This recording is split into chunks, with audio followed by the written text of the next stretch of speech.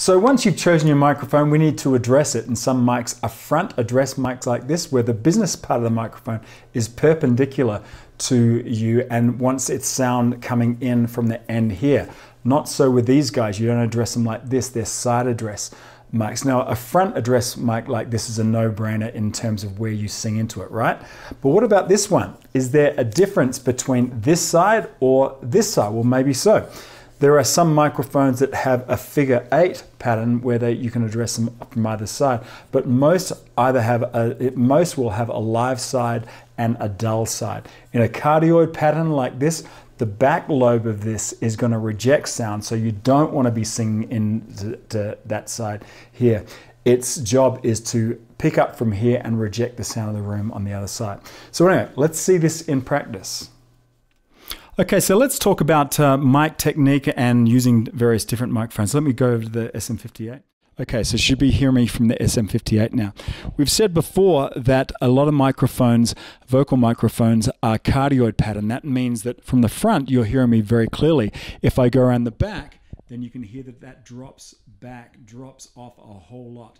Is really great in a live situation because quite often your monitors are right at your feet, which is the most deaf part of the microphone. So that's a great way of rejecting feedback there. But in a, in a live situation, um, you know, it's a great way to uh, address that microphone and reject a lot of the, the, the sound of the room.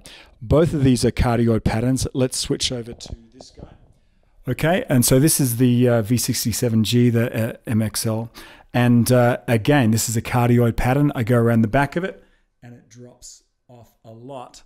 That's the most deaf part of the microphone, which is great because it'll it'll kind of reject a lot of what's going on in the room.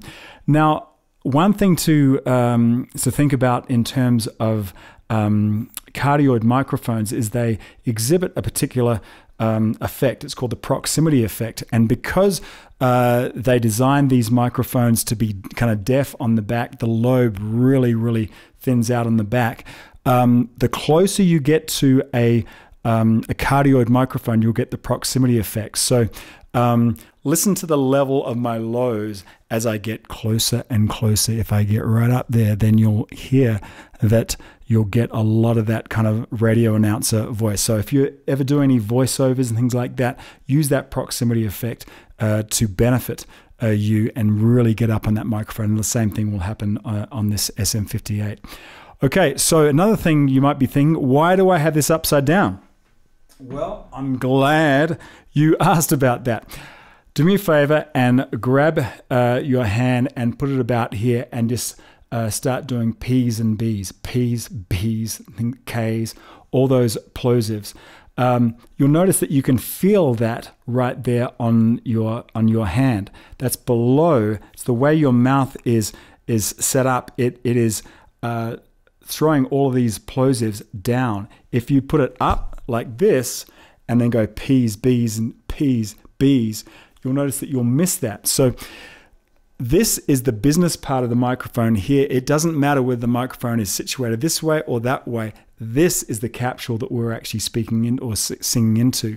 So why not have it pivoted the other way so that any of those plosives can, uh, if it was put down here, those plosives would be hitting the chassis of the microphone, and you may start getting some of that, uh, um, those ugly P's and B's coming in there. Speaking of that, when I get invest in one of these for sure. Pop filter, um, you can pick you know one up at your local music store. If you want to go the MacGyver route, you can always use a, uh, a stocking over a, uh, a wire clothes hanger.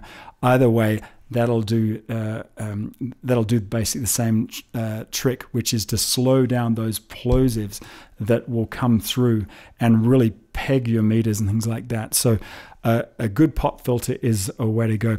Another thing to think about in terms of sibilants is you know the S's. Uh, and T's and things like that.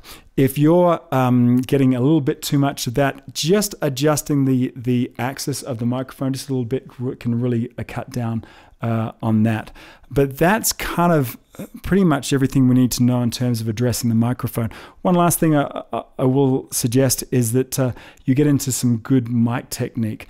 In other words, when you you know really use the distance of your uh, of where you are to the microphone uh, to, to kind of tame your dynamics. You do want to be up on the microphone and um, and really take out the room, like we've said before. But if you're going to be really hitting a big note, then when you come to that point, just lean back off of the microphone for that big note. It'll really help, uh, you know, in terms of your dynamic range and and because uh, um, otherwise you'll have to set levels for that big note, and the rest of your track will drop down a lot. Where if you can just back off for a big note, that really really helps.